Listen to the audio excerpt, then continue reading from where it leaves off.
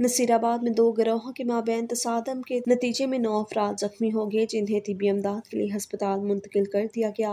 Police के मुताबिक वाक़ नवाज़ शरीफ कलोनी में पेश आया, जहाँ दो गिरोहों के माबेन तसादम के दौरान नौ अफराद जख्मी हो गए, जिन्हें जनरल हस्पताल मुंतकिल कर दिया गया है। आठ जख्मियों का कारतूस के छुरे लगे, जबकि एक ईंट लगने से जख्मी हुआ। जख्मियों में कालू मसीह आकाश, शान, काशिफ, अरसलान, नासिर, इरफान, जैनब बीबी और दीगर शामिल हैं जिनकी हालत तसली बख्श बताई जाती है। पुलिस का कहना है की वाक़ ज़ाती झगड़े का नतीजा है। जाए वाक़ से शवाहिद इकट्ठे करके मजीद तहकीकत की जा रही है।